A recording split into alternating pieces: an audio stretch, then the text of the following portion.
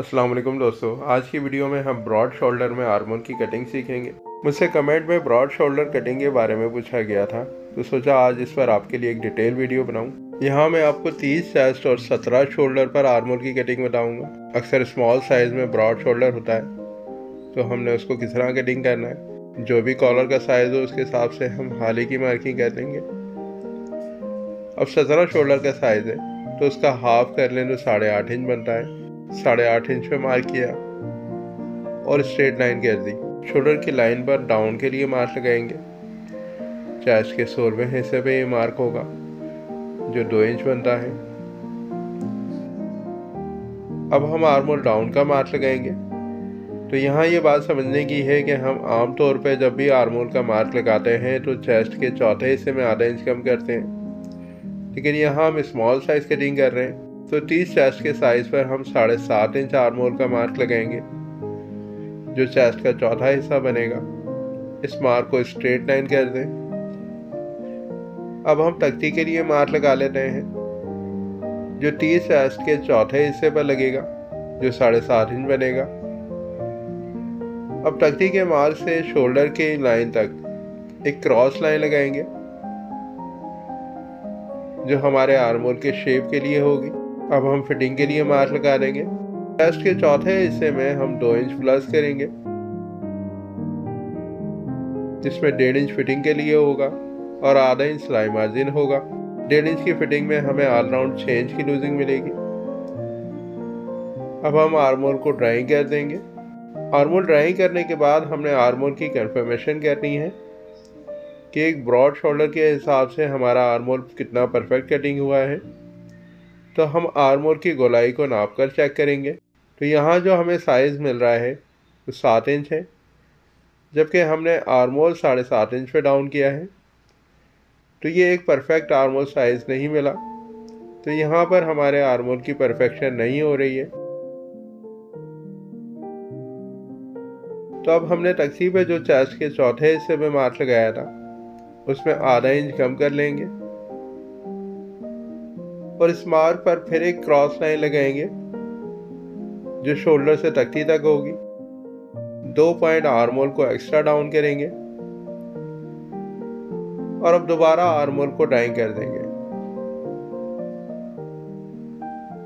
अब हम फिर आर्मोल की गोलाई को नाप कर चेक करते हैं।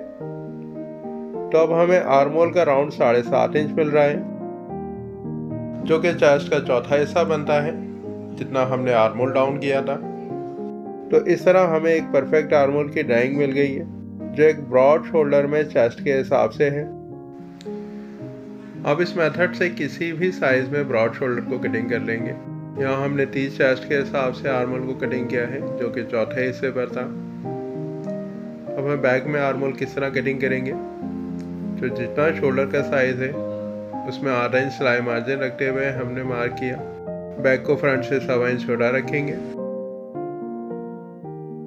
उस मार्क पे स्ट्रेट लाइन कर लें। ब्रॉड शोल्डर में बैक के आर्मर को हमने किस तरह लाइन करना है? कि हमने आधा इंच का शेप देते हुए शोल्डर की लाइन से मैच किया है? और इस शेप को हमने फिटिंग के पॉइंट पे ख़त्म कर दिया। ये एक ब्रॉड शोल्डर का शेप है। आमतौर पर हम इस तरह का शेप नहीं देते। अब इस आर्मोल के हिसाब से हमने आस्तीन को किस तरह कटिंग करना है? तो आपने जो बैक और फ्रंट के दरमियान मार्जिन है उसको नाप लें। तो यहाँ सवा इंच का मार्जिन हमें मिल रहा है। और फ्रंट में तख्ती से फिटिंग तक का मार्जिन नोट कर लें। तो ये ढाई इंच बनता है। ढाई इंच फ्रंट के शेप से मिल रहा है। और सवा इंच हमें फ्रंट और बैक के आर्मोल के दरमियान से मिल रहा है। आसिन की चौड़ाई के लिए आठ इंच का मार्क लगाएँगे। जितना हमने फ्रंट के आर्मोल को राउंड में नापा है। ये उसमें आधा इंच प्लस करके मार्क लगा है। टॉप पर स्ट्रेट लाइन लगाई। और आस्तीन के डाउन के लिए ढाई इंच का मार्क लगाया है। हमने आस्तीन में डाउन के लिए जो ढाई इंच पे मार्क लगाया है, ये वही साइज़ है जो हमने फ्रंट में आर्मोल से लिया है। ढाई इंच का मार्क हम टॉप पर भी लगाएँगे, जो आस्तीन की शेप के लिए होगा। इस मार्क से आस्तीन के डाउन पॉइंट तक क्रॉस लाइन कर दें और आस्तीन को एक राउंड शेप कर देंगे। अब आसिन के कर्व शेप के लिए सवा इंच का मार्क लगाएँगे और इस मार्क पर आस्तीन के कर्व शेप को ड्राइंग कर देंगे।